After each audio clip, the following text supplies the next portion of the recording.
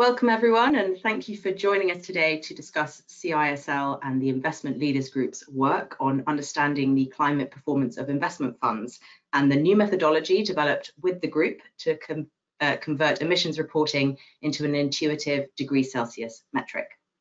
I'm delighted to be joined today by my esteemed colleagues Dr. Jake Reynolds and Dr. Pablo Salas Bravo. Dr. Jake Reynolds is the Executive Director of Sustainable Economy with responsibility for CISL's research, including the Prince of Wales Global Sustainability Fellowship Programme. Jake acts as Senior Advisor to CISL's Centre for, the, Centre for Sustainable Finance, which develops practical thought leadership through long-running collaborations with the investment, banking and insurance industries. Dr. Pablo Salas Bravo is the Prince of Wales Global Sustainability Fellow in Radical Innovation and Disruption at CISL. He has been working alongside the Investment Leaders Group to explore and develop temperature scoring methods that effectively communicate fund climate impacts.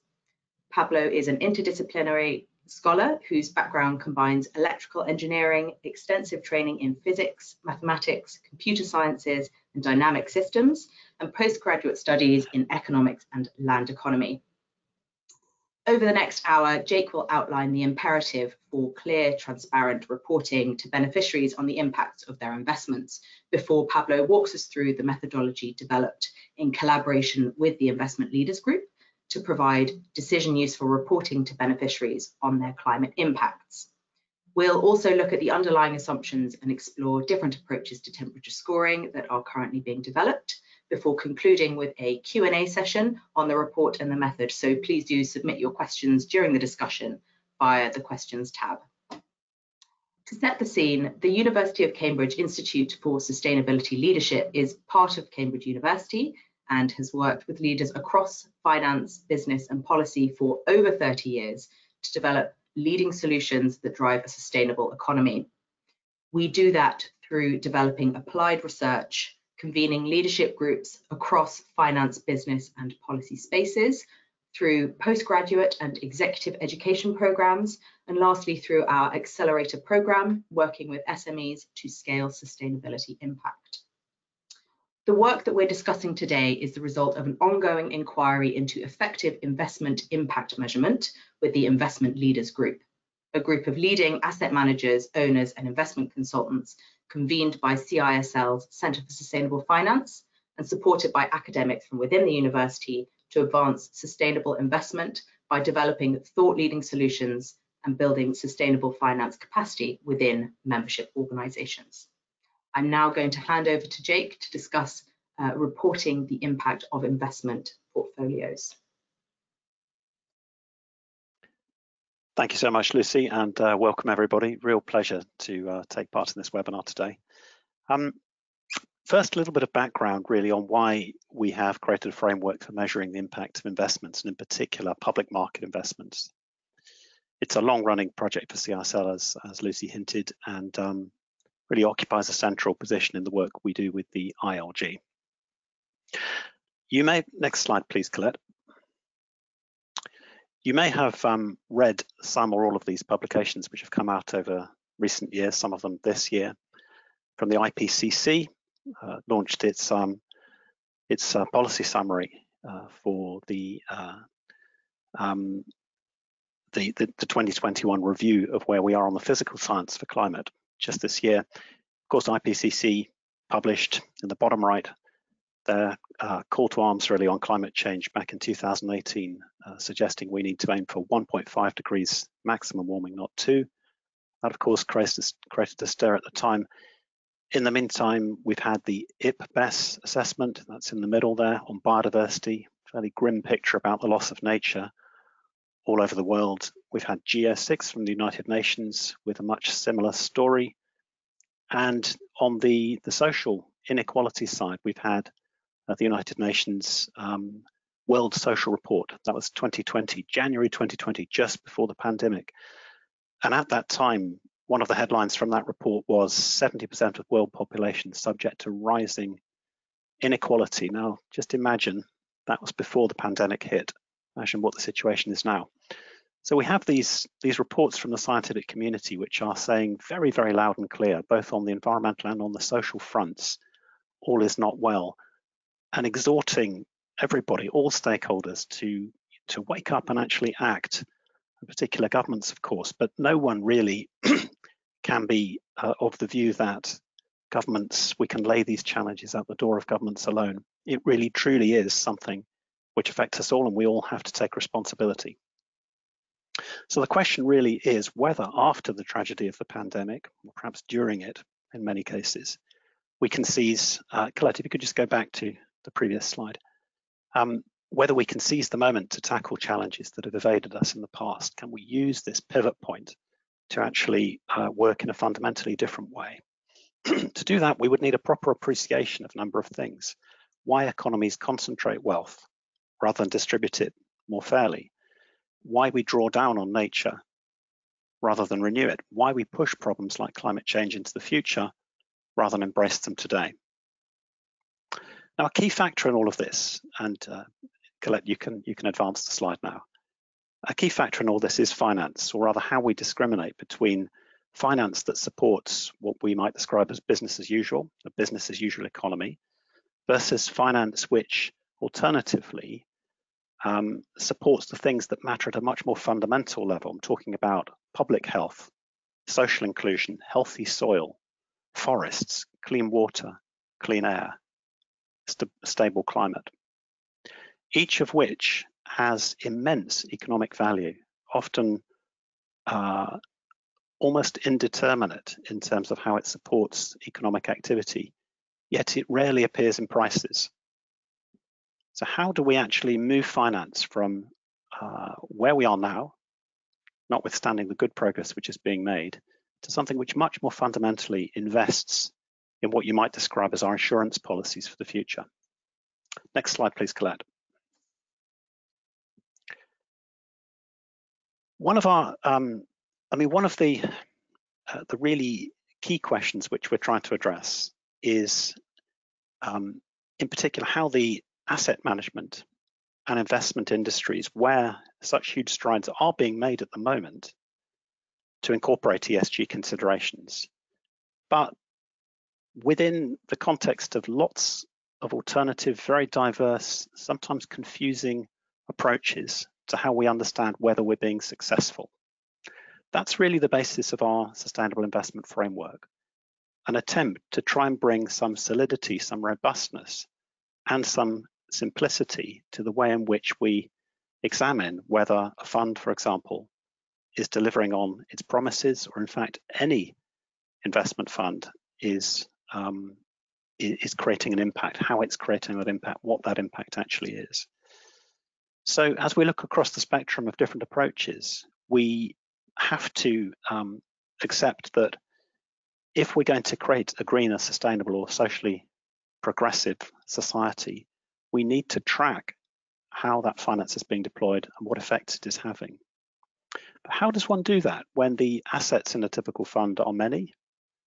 The issues behind sustainability are quite complex, and the data available to make judgments about that impact are quite limited. Well, we think this problem is particularly relevant to uh, what you might describe as the, the end investor, the investing public, you and me, from which much of the investment capital uh, deployed by the industry actually derives. And we don't really believe that the public needs or wants, importantly wants to know all of the complexity of how those impact measurements are obtained.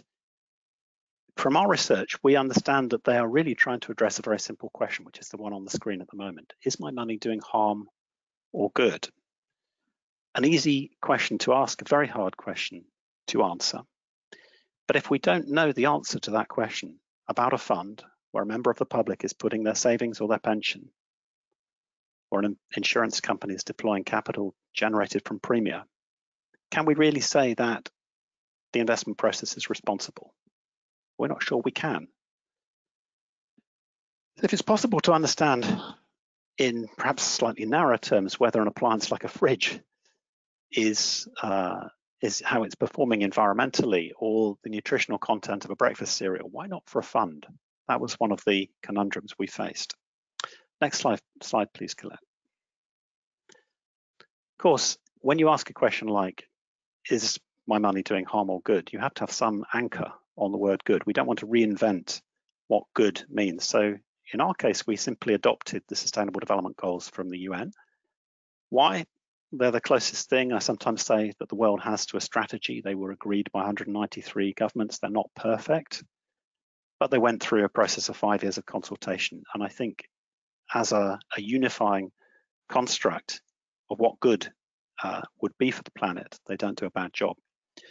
So um, it, what, having sort of established whether or not we are um, what, what, what direction of travel we need to go in through our investment, we can then look at how the funds are stacking up against that. Next slide, please, Colette.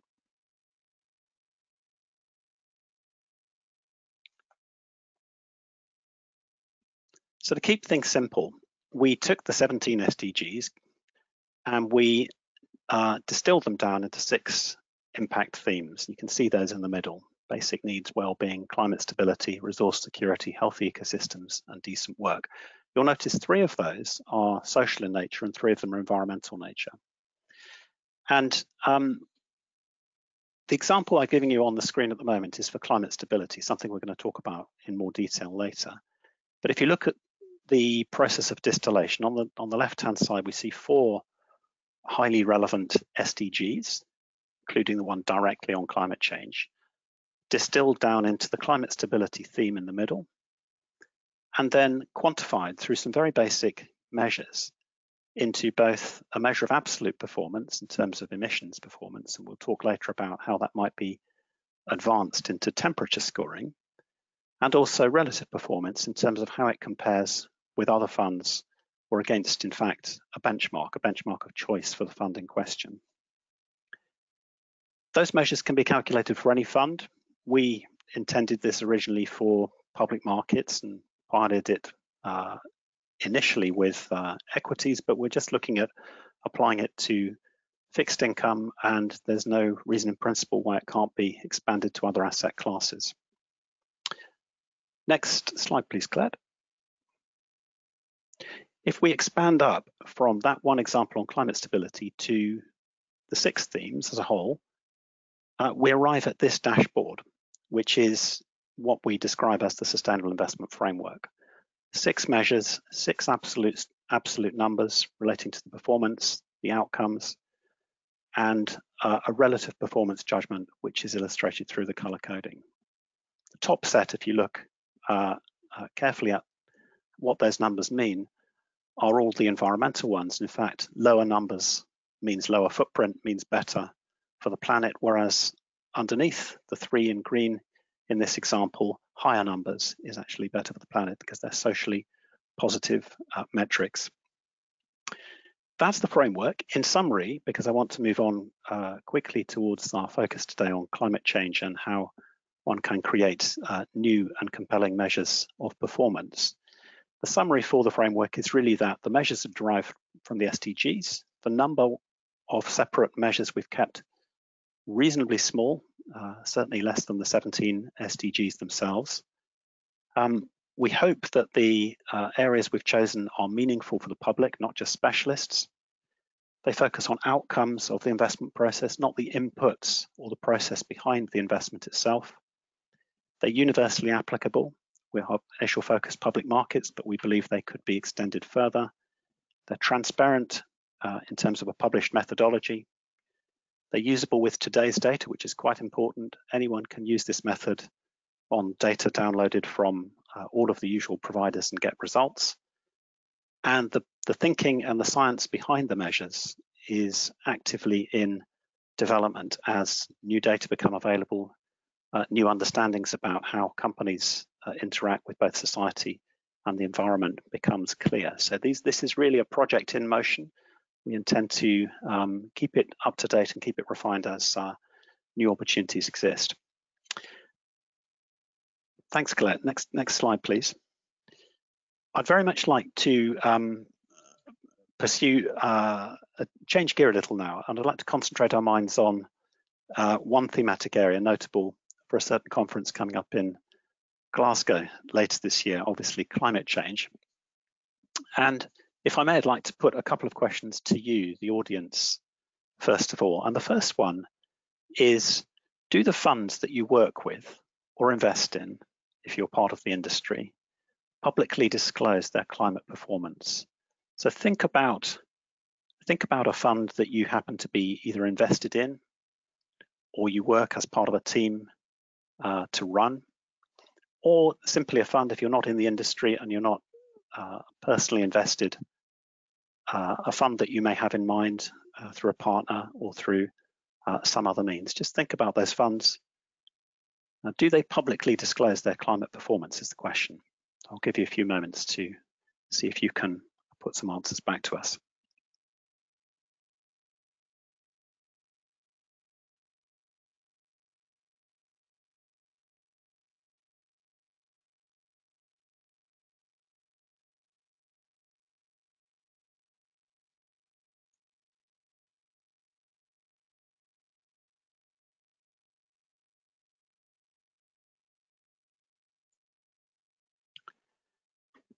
Second question, do the funds you work with or invest in,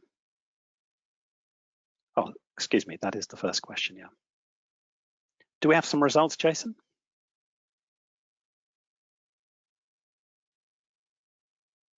Fabulous.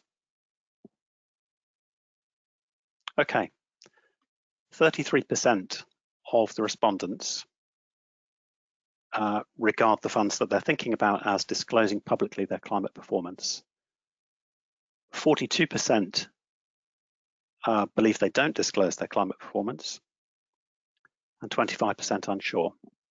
I think that's really interesting because we're at a situation now where global attention is placed on climate change. It has been, of course, steadily um, ratcheting up.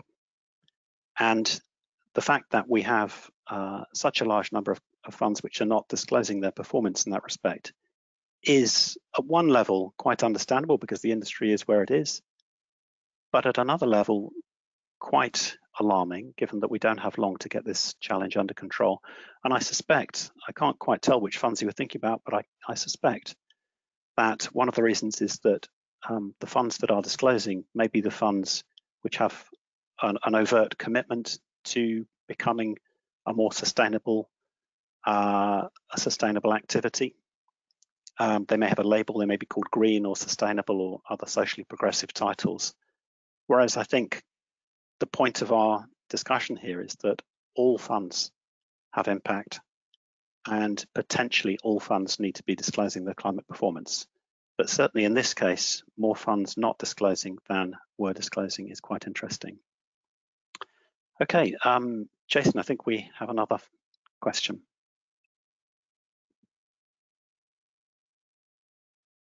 Okay, looking at our second question, with the funds that do disclose their climate performance, so that was um, in the 30%, um, what method is actually used? Is it an in-house or external rating, a carbon emissions or intensity method, the percentage of assets aligned with the Paris Agreement, a temperature score potentially, or some other method. So I'll give you a few moments for that.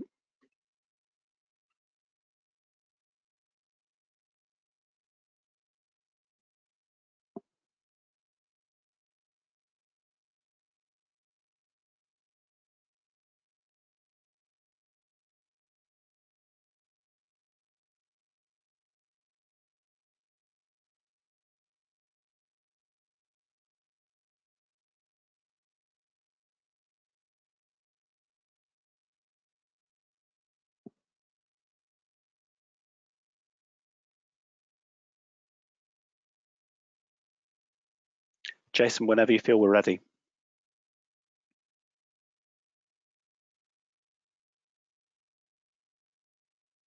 Okay.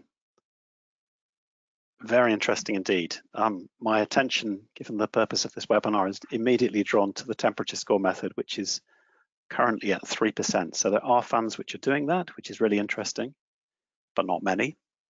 and most are reliant upon some, well, uh, either carbon emissions, footprint, or footprint intensity, that's footprint uh, by revenue or sales or some other uh, some other financial indicator. So many, 44% are based around footprint, and many are based around ESG rating, which of course could be done internally if you're an asset manager with that kind of capability uh, or another part of the industry, or it could be an external rating uh, imported from uh, one of your service providers. 8% are rating, are using a method based on alignment with the Paris Agreement, which is interesting. Temperature scores are partly in that space, but uh, uh, expressed as a temperature rather than a percentage of assets aligned with a particular ambition like the Paris Agreement. Okay, fascinating. Um, well, thank you very much. I think one thing which is clear, if we could sort of move on to the next slide now, is diversity. We have a lot, even in this example, we have a lot of different approaches to uh, disclosing climate performance. That's precisely the finding that we found in our uh, two-part series, which uh, Lucy trailed at the beginning of this session, which looked at understanding the climate performance of investment funds. And I'm just going to briefly run through the first part of that uh, series, and Pablo Salas is going to lead us through uh, the second part, which looks at the methods of temperature score design.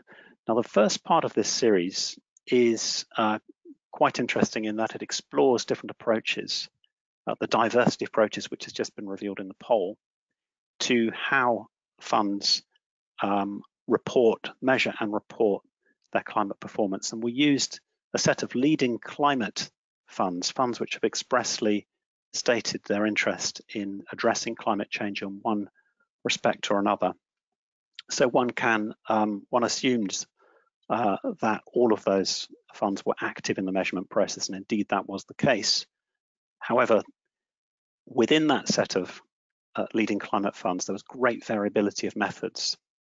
And whilst each of them is justified in its own right, um, there's no reason why one shouldn't assess uh, these kinds of relationships through a risk lens or an impact lens or an alignment lens the variability can inhibit comparison when there is no more universal approach to um, to provide, if you like, a, a, regular way to understand all funds rather than the particular specialist approaches which one particular uh, asset manager or another chooses to select.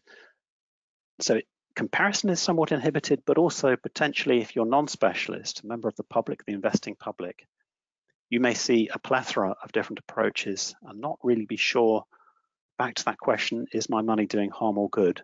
Which ones are actually relevant to your personal interest as an investor? So good work, but highly variable, I think was one of the conclusions we made.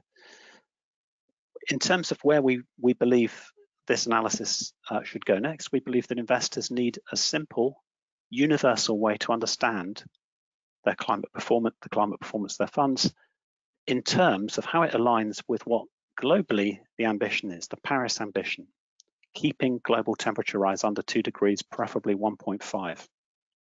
A universal way to understand that across all funds, not just simply climate funds or sustainable funds or green funds, but across the whole fund landscape, we believe would be not only uh, valuable, but increasingly essential. We also concluded that a sensible option for that measure is the temperature score because it's easily understood by the public. It's expressed in degrees centigrade, something people can relate to. It's based about the outcome. It's based on the outcome of the investment process, not the not the inputs to it. In other words, it's what impact the fund is having on the real world.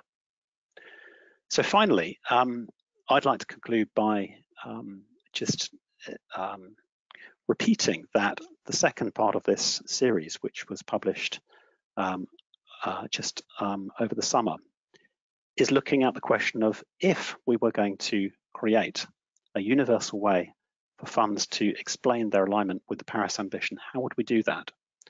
Our opinion was that the temperature score was the right way, But even when one takes that decision, there's a lot of intricacies, a lot of design questions, a lot of assumptions, and even some variability in the way that those temperature scores are put together.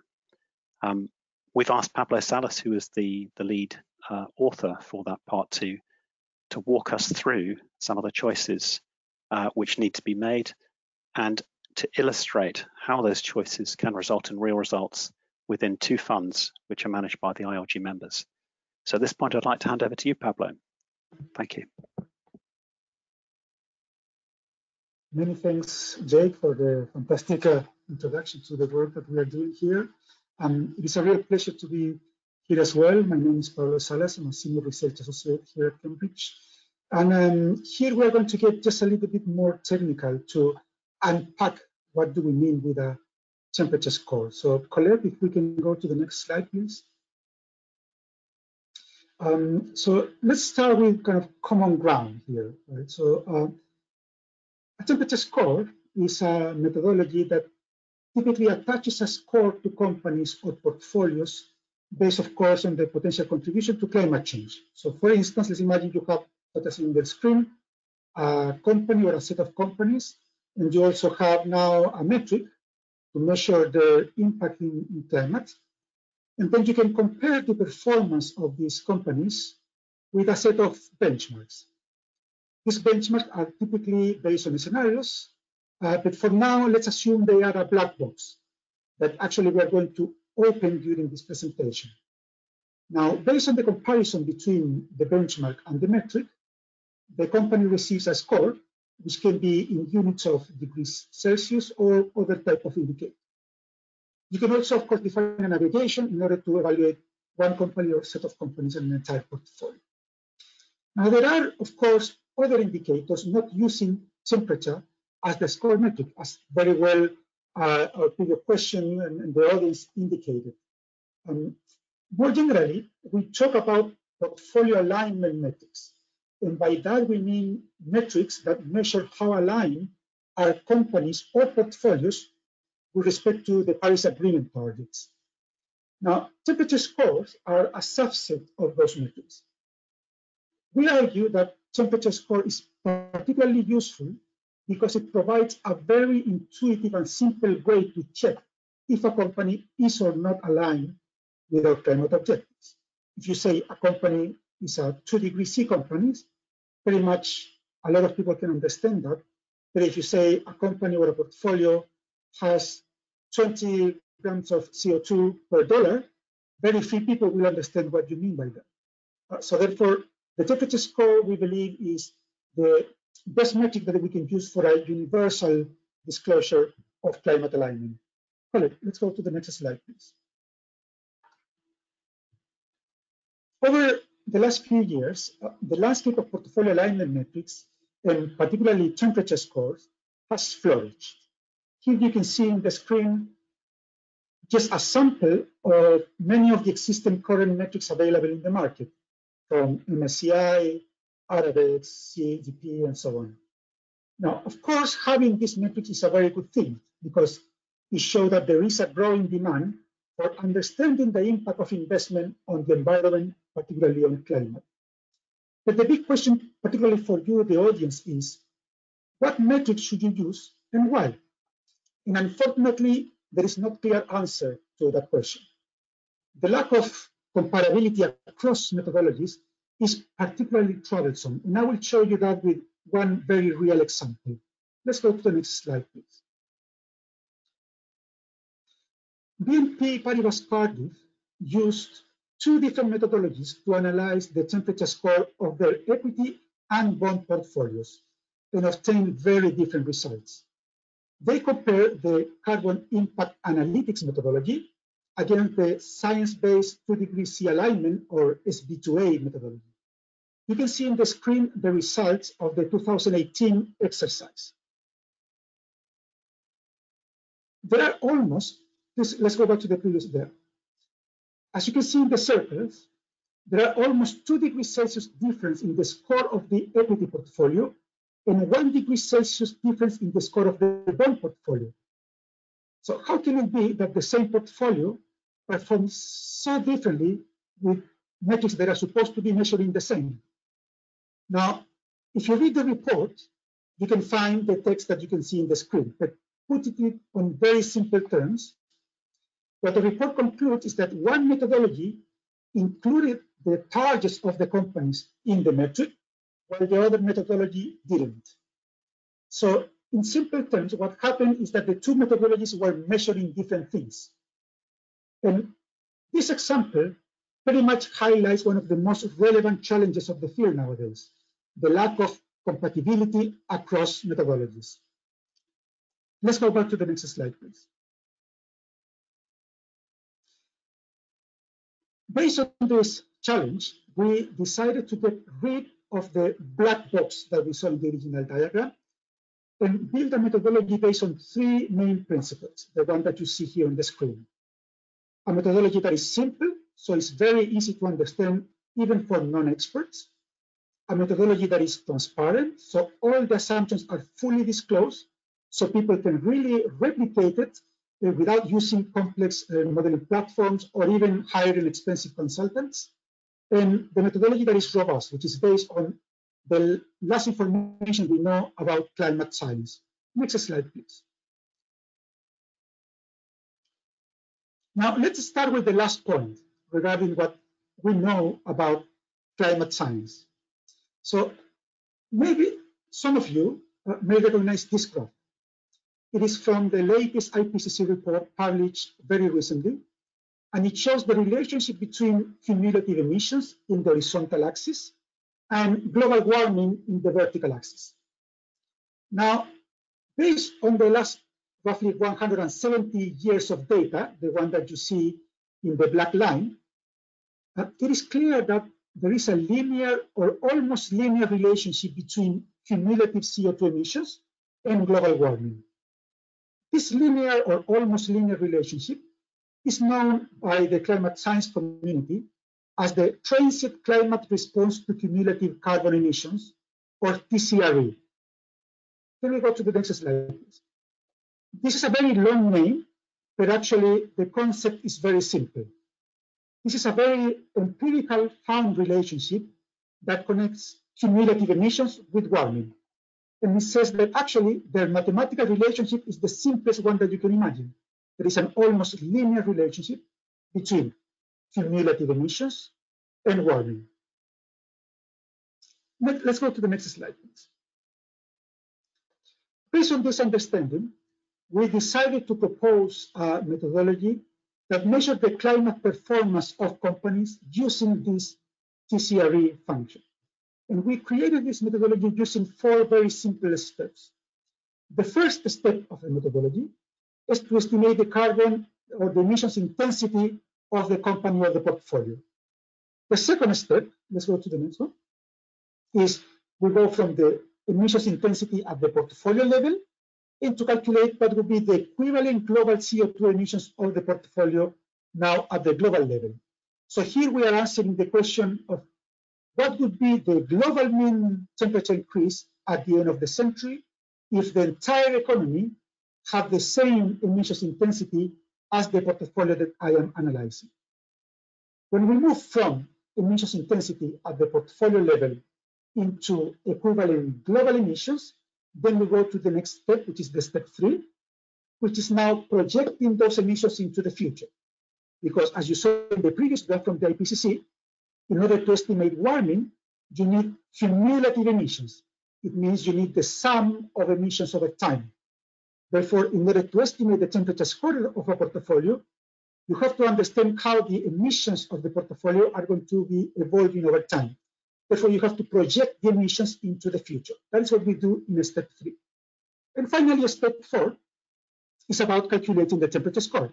But when you have already the cumulative emissions, then the step four is triggered because you use the TCRE function that I just showed you in the previous slide. Let's go to the next slide.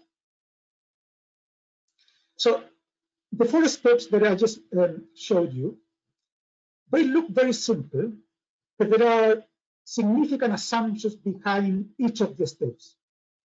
And the key for converging towards a standard approach for temperature scoring is precisely to be fully transparent uh, about those assumptions. This is why our report has so many annexes, because we fully address each one of the underlying assumptions behind, behind these four steps. Of course, I don't have time to discuss all of them in this presentation, but I will show you now some of the main assumptions behind each of the steps. So the first step aims at estimating the emissions intensity of the portfolio, which measures the emissions per unit of economic output. So emissions intensity measures carbon emissions per unit of economic output. How do we estimate the carbon intensity? Well, first of all, we need to estimate the emissions. And for that, we use Scope 1 and Scope 2 emissions as defined by the Greenhouse Gases Protocol, which is by far the dominant system used by companies to disclose their emissions. They represent direct emissions plus the emissions from their energy use. We decided not to include Scope 3 emissions, which are indirect emissions embedded in the supply chain, although there is plenty of uh, evidence about the importance of scope 3. Now, why we decided not to include scope 3 is because, unfortunately, the quality of the data at the moment is very low. And that is due, on the one side, to the reporting, but also on the fact that modeling tools used for measuring emissions in the supply chain are still in a very early stage of development. Therefore, we decided to leave scope 3 out of this metric, but we do understand that it would be ideal to incorporate it when the quality of the data and the method allows it. In terms of economic output, we use sales revenue, and the reason for this is very simple. When we estimate equivalent global emissions, that is in the next step of the methodology, we use global GDP which is an indicator of annual economic activity at the global level. Now, we need to use out now at the company level a similar indicator. And that's why we use sales revenue, because both of these indicators, one at the company level, the other at the global level, they measure annual activities from companies. Now, by dividing carbon emissions by economic output, we obtain the emissions intensity of one asset.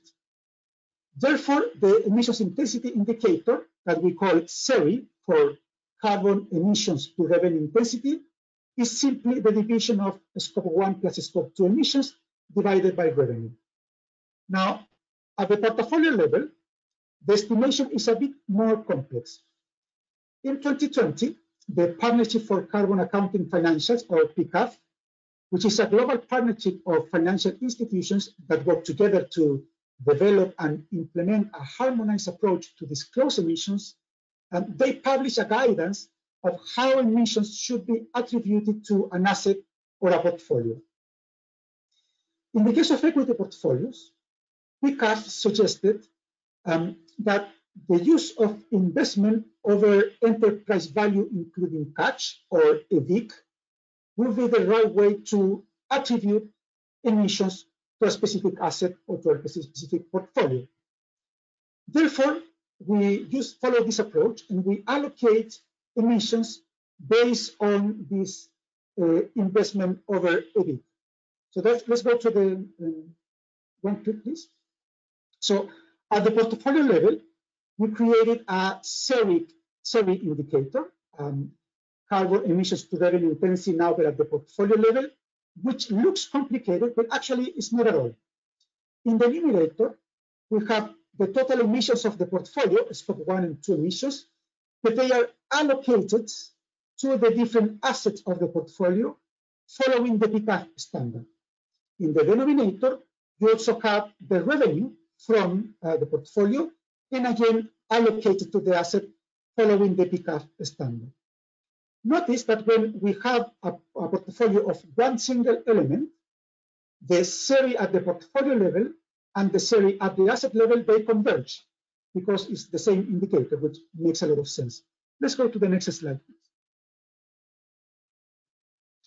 Now, the choice of the CERI indicator uh, to measure emissions intensity at the portfolio level follow a very thoughtful process, which included valuable feedback from experts in the field, and the incorporation of the recommendations from the latest TCFD consultation process. Firstly, we use um, revenue in contrast to other metrics such as uh, market capitalization in the denominator uh, of the indicator uh, because we want to make it compatible with the indicator at the global level. So in the case of the global level, if you want, if you want to measure emissions intensity at the global level, typically you use global GDP in the denominator. So that is why in the CERI we use revenue in the denominator. Secondly, the attribution factor that we use, which is the one which is based uh, on the PCAF standard, uh, pretty much follow uh, what most of the financial institutions are using for attribution of emissions. So therefore, it's fully compatible with the standard that is being implemented at the moment, at the moment following the um, approach. And finally, the aggregation from asset to portfolio level is not simply by weighting the emissions intensity of the asset using the portfolio weight, but actually by aggregating the emissions and aggregating the revenues using these attribution factors. This was indeed, that this approach was the recommendation number 20 in the last TCFD portfolio alignment metrics. Uh, and, and that's why, which they call it aggregated budget approach, in contrast to portfolio weight approach. That is why we use it here in our indicator. Let's move to the next slide. So in the first step, we created this um, metric in order to estimate the carbon intensity at the company or portfolio level. The next step is to calculate the global carbon emission equivalent of the portfolio. So therefore here we need to answer the question, what would be the global emissions if the economy had the same carbon intensity as the portfolio we are analyzing. In an ideal world in which the company level data is fully compatible with the global level data, we can just multiply the emissions intensity of the portfolio by the global economic activity, measured, for instance, by GDP.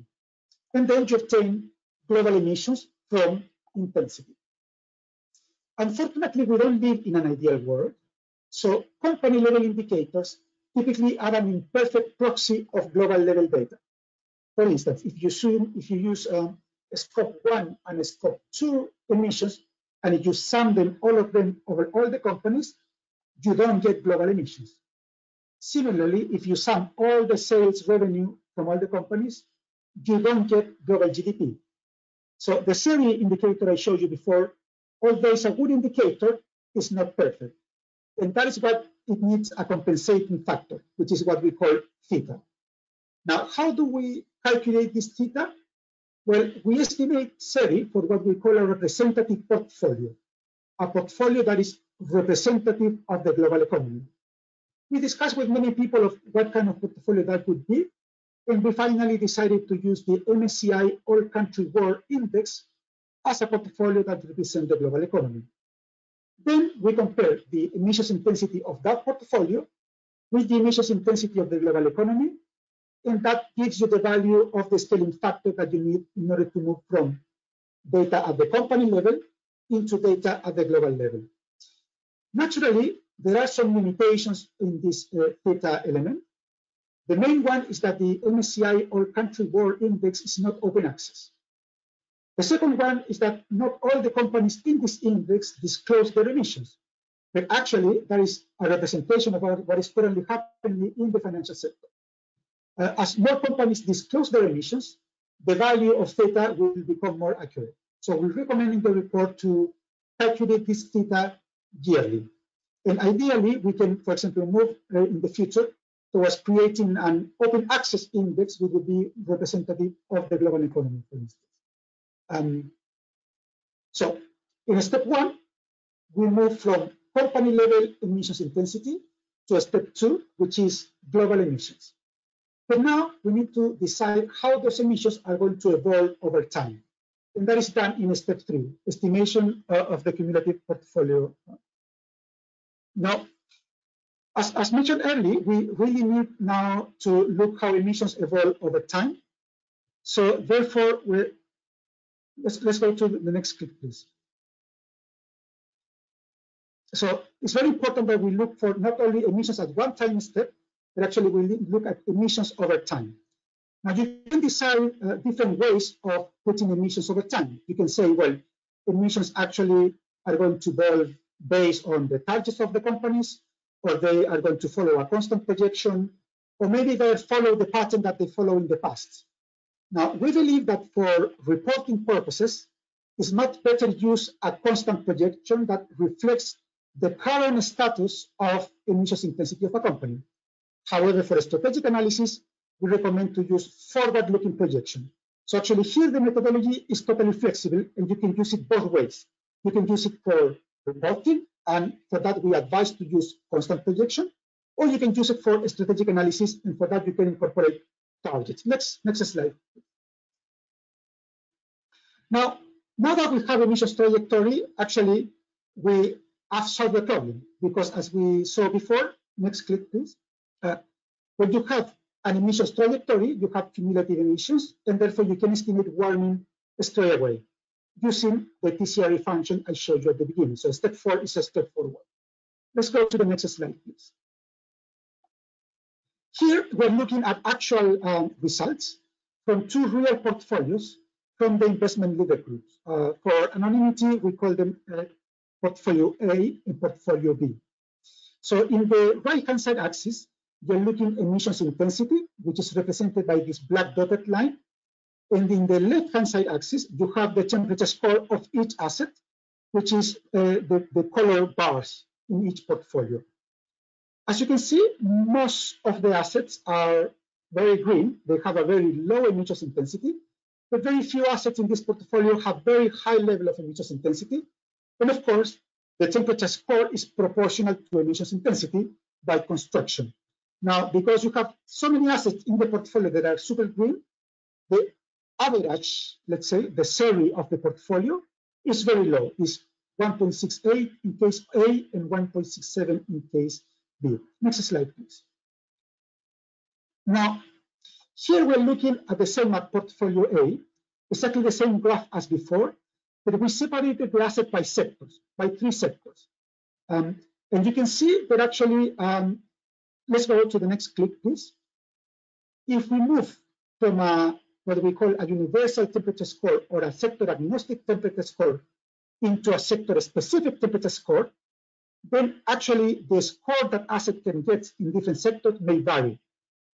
And the reason for that is very simple. When you move from a universal score to a sector specific score, uh, the carbon budget of each sector changes. And then you see what happened here, which in practice, uh, having the same emissions intensity, some, some sectors which have lower carbon budget may get a higher temperature score. Now, in our report, we really focus on the universal metric, but we, in one of the annexes, Annex D, we show how can we create actually a sector-specific metric that uh, many financial institutions are interested in. Next slide. Uh, next click, please. Here are we seeing exactly the same phenomenon with portfolio B. So in the case of portfolio B, again, you have one score of, of for the portfolio using a, a sector agnostic metric or a universal metric. But when you move to a sector specific metric, then you have a specific sector with a smaller carbon budget, so sectors that need to be decarbonized faster. And in that case, those sectors, of course, assign a higher temperature score to those assets. So therefore, it's very important to understand that uh, a universal temperature score may give you different results than a sector-specific score. Let's move to the next slide. So you may ask yourself, well, why uh, did not we focus on a sector-specific uh, temperature score with a sophisticated forward-looking analysis? Well, actually, we would love to do that, but we strongly believe that first, we need to agree on the common ground on how portfolio alignment metrics work, and especially how temperature score work. So the core of, of our um, report was really trying to build the common ground of what are the metrics that we want to build and be fully transparent regarding the assumption that we're making. So we believe that uh, by supporting global reporting standards based on transparency, simplicity, and robustness, we really can accelerate the integration of climate metrics into the financial sector. And finally, the last slide. Uh, of course, there are some challenges ahead still. So the lack of standardization is by far one of the main challenges in this field. And we hope our report help to open the discussion and try to converge, particularly in the assumptions that we make at each step. And that is why having simplicity and transparency as part of the metrics is so essential. But of course, there are also some technical challenges that uh, I, I, don't have time to address here in detail, uh, which is mostly about how can we use scope 3 data, for instance, by improving data access in models, also how to analyze other gases, and how to create sector-specific and region-specific benchmarks, uh, but based, of course, on more transparent and better uh, modeling tools. So I hope this gave you some clarity of what is the situation of temperature scoring at the moment in the field, what are the main questions that we need to answer, and actually we love for you to get in contact with us uh, in order to maintain this conversation going, because as Jake mentioned, this is pretty much work in progress. Many thanks.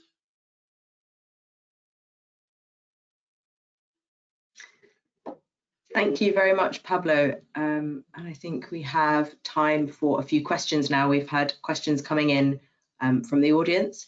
Pablo, I'd like to direct the first one to you, which is uh, what do you consider to be the main advantages and limitations of this metric? Um, and what advancements can we expect to see in the near term?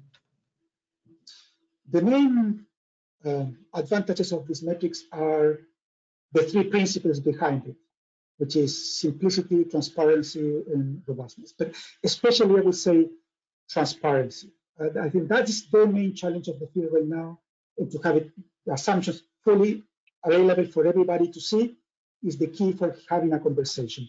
The main challenges is to uh, build a scope 3 into it because scope 3 is, is important, but unfortunately the data is not available right now. But also um, to, to build sector-specific metrics because some sectors have priority for decarbonization, uh, particularly, for example, the power sector and transport sector. So therefore, we should accelerate finance to, to sectors that need more finance to accelerate their transition. So therefore, moving to a sector-specific metric, I think is an important next step. Jake, did you want to come in there as well?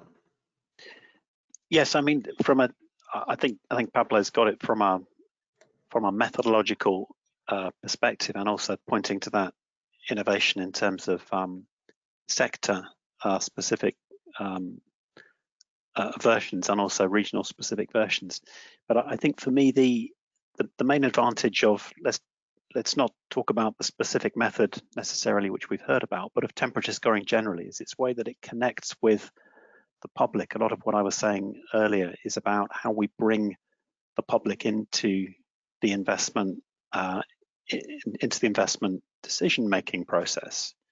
Um, they have you know they have values. They have things they want to associate with their investment decisions. And we've done work previously uh, also with the ILG which reveals just how much interest uh, financial consumers have in getting this right. In fact they're prepared to um, you know they're, they're, prepared to make some very uh, interesting choices with regard to the uh, sustainability performance of what they are investing in, which are surprisingly robust. And I think for the for the industry to provide those choices, or in fact to raise the bar on all funds which are being offered to the public, I think is really really important. But to do that in a very meaningful way, in a way that connects with their interests and is understandable and not confusing. So having a temperature in degrees centigrade associated with a particular fund, I think is really easy to understand. People hear a lot about two degrees or 1.5 or five degrees global warming and beginning to understand, particularly perhaps young people who are actually being educated about this at school and in other uh, fora. This is something we need to start talking about. And it's a really important feature, I think, for all funds, not just ones which are claiming that they have a particular climate angle on them. Okay, we've um, we've had a number of questions come in um, in relation to the sectoral approach that you covered at the end of um, the presentation, Pablo. So one here, um, which I think covers a lot of them, is how how have we considered um, climate solutions that are emissions intensive but abate far more emissions downstream. So, for example, copper and lithium mines, um, battery, battery manufacturing into this temperature score metric, given that obviously these solutions are paramount, paramount, paramount to meeting long-term targets um, and need to be financed, but perhaps in isolation in, in such temperature score, um, you know, don't perform so well. Yeah, so in general, a temperature score is a metric that goes from emissions intensity into temperature. So it's a, it's a translation metric. Uh, when you do it universally, you have the luxury to use, for example, the TCRE function that I just mentioned. But when you do it sectorally, uh, you need now uh, a very detailed perception of what will happen with the sector in the future. And that is why we use typically models, uh, let's say integrated assessment models, which give you scenarios of the different sectors in the future. That is a necessary step to move towards a sector-specific method. Now, those scenarios have embedded all those considerations that you mentioned. Those scenarios have embedded what are the trajectory of the different sectors in the future in terms of the speed of the decarbonization. And in that case, what the temperature score does is very much uh, reflect the match between the company following that trajectory expected for the sector versus the actual trajectory that the company is following. So uh, I would say all the assumptions regarding the role of sectors and the, their importance in the decarbonization chain would be embedded into the scenarios of the sectoral metric.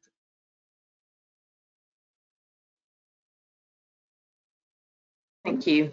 Another question, so I know that we discussed around how scope three emissions are um, are not, but could be included in this method. We've had a question around whether um, the methodology also captures all GHG emissions or just CO2. Yes, that, that has to do with, um, with the simplicity aspect of, of the methodology. Um, companies, when they disclose their emissions, they follow the greenhouse gas protocol. Uh, that is the kind of by far the most well-known metric. And typically, according to that protocol, they should disclose together with the carbon emissions the other emissions. So therefore, if, the, if we measure scope one and scope two emissions from a company, those emissions should include uh, non or non other gas, so non CO2 gases. Uh, now, the TCRE function uses CO2 only. That is one of the reasons for using this theta value because we are comparing actually two metrics that are different. So therefore, you need that scaling factor to make that correction. Hopefully, in the future, climate scientists, and that will be published in the IPCC, I suspect, um, they will come with similar TCRE function for other gases. And when that happens, we will be able to separate well, what happened with CO2 versus what happened with other gases. Unfortunately, today, we only have the TCRE function for CO2. And that's why we need to do this transformation between scope one and scope two at the company level versus global CO2 at the global level. And I, th I think, Lizzie, to add to that, the the scope three dilemma is is ever present, isn't it? Uh, we would we would love to be incorporating that, but didn't feel that the data were uh, strong enough, not not across the the investment universe that we believe this uh, approach should be applied to. But of course, it's improving all the time. Um, we need, you know, as Pablo said earlier, we need better, higher quality, more conscientiously created scope three data built into larger databases that are accessible and standardized rather than a slightly hit and miss approach that we have at the moment. One that is available, that'll be the first thing that's incorporated in such methods.